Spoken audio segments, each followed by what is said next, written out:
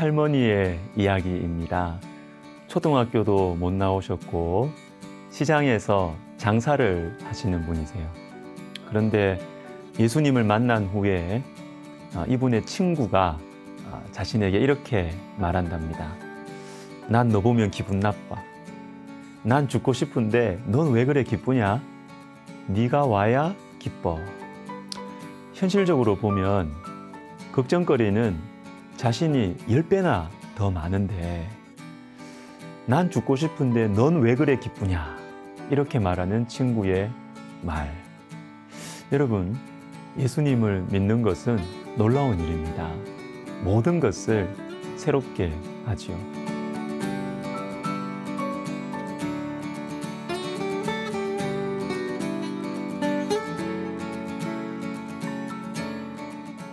오늘 본문은 안식일이 지남해라는 말씀으로 시작됩니다. 드디어 안식일이 지나갔습니다. 이 안식일은 예수님께서 십자가에 달리신 날입니다. 이제는 다 끝난 것 같습니다. 예수님을 둘러싸고 벌어졌던 소동들, 시끄러운 인간들의 소리, 반란이 일어날까봐 걱정하던 지도자들의 불안함, 그리고 마음속으로 수많은 말들을 하면서 예수님을 버리고 도망친 제자들의 소리들까지 모든 것이 지나갔습니다. 안식일이 지남해 이제는 다 끝난 것 같습니다. 그러나 6절을 보십시오. 그가 살아나셨고 끝나지 않았어요. 아니 다시 시작됩니다. 모든 것이 다시 새롭게 해석되기 시작합니다. 십자가에 못 박히신 예수님, 실패한 혁명의 주인공이 아니라 살아계신 하나님의 아들이셨습니다. 그분이 우리 대신 맞으신 고난과 수치와 그리고 죽음, 하나님의 말씀이 옳았습니다. 그가 찔림은 우리의 허물 때문이요. 그가 상함은 우리의 죄악 때문이라. 그가 징계를 받음으로 우리는 평화를 누리고 그가 채찍에 맞음으로 우리는 나음을 받았도다. 우리는 다 양 같아서 그릇 행하여 각기 제 길로 갔거늘 여호와께서는 우리 모두의 죄악을 그에게 담당시키셨도다. 모든 것이 새롭게 해석됩니다. 안식일은 끝나지 않았습니다. 아니, 새로운 안식일이 시작된 것입니다. 그리고 저와 여러분도 새롭게 출발할 수 있습니다. 아니, 새롭게 시작해야 합니다. 왜요? 예수님이 살아나셨기 때문에. 지금도 살아계시기 때문입니다. 이제는 나 혼자가 아니고 나를 위해서 살지 않습니다. 그리고 우리는 그분을 믿고 그분을 따라가고 그분을 전합니다. 다시 살아나신 그분이 내 삶의 이유와 목적입니다. 우리의 인생도 새로워질 수 있습니다. 아니, 새로워질 수밖에 없습니다. 무엇보다도 예수님께서 하신 말씀이 이제 다시 살아났습니다. 그분의 말씀은 오래전 훌륭한 사상가들, 그러나 이제는 죽어버린 그런 사람들의 교훈이 아닙니다. 예전에 하신 말씀, 갈릴리 해변에서 하신 말씀, 나를 따라오너라. 내가 너를 사람 낚는 어부가 되게 하리라. 자신이 하신 이 말씀을 이루시기 위해서 지금도 우리 안에서 일하시는 것입니다. 부활하셔서 살아계시니까. 또한 나의 안에 거하라. 나도 너희 안에 거하리라. 너희가 내 안에 거하고 내 말이 너희 안에 거하면 무엇이든지 원하는 대로 구하라. 그래야면 이루리라. 이 말씀이 이제는 문자로 그치지 않습니다. 왜요? 이 말씀을 하신 분이 지금도 살아계시니까. 이 약속을 이루시기 위해서 지금도 우리를 가르치시고 도우시고 인도하시니까요. 모든 것이 예수님의 부활로 새로워졌습니다.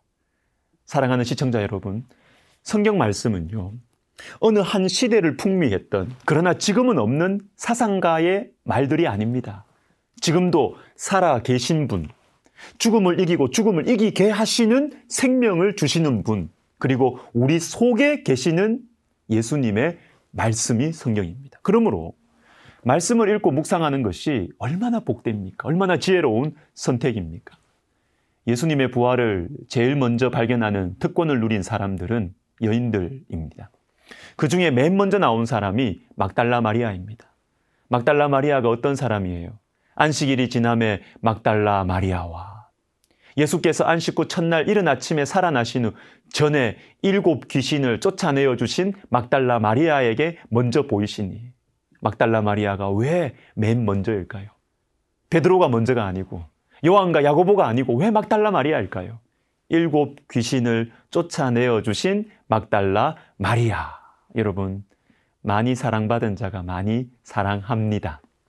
하나님께서 여러분을 사랑하십니다. 그것을 어떻게 알 수 있습니까? 말씀에 있습니다. 말씀.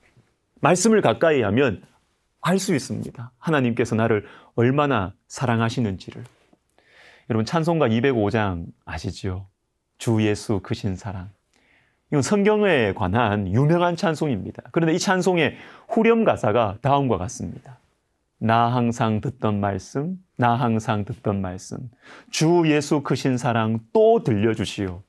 그런데 이 찬양의 원래 영어 가사를 있는 그대로 번역하면 이렇게 됩니다. 오래되고 오래된 이야기를 들려주시오. 오래되고 오래된 이야기를 들려주시오. 예수님과 그분의 사랑에 관한 오래되고 오래된 이야기를 들려주시오. 여러분, 성경은 예수님과 그분의 사랑에 대한 말씀입니다. 성경을 읽고 묵상할 때 주님의 사랑을 알게 됩니다.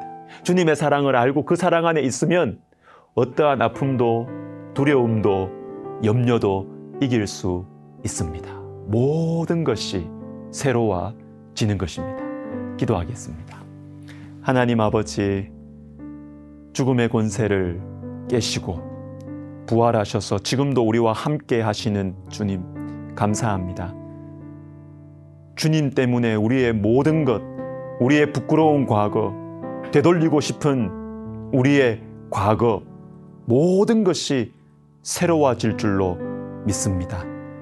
우리가 주님의 인도하심을 따라 주님과 함께 한 걸음 한 걸음 믿음의 삶을 살아갈 때 주께서 주시는 용기, 주께서 주신 희망 가지고 살아가는 저희들 되게 하여 주시옵소서 예수님의 이름으로 기도하옵나이다.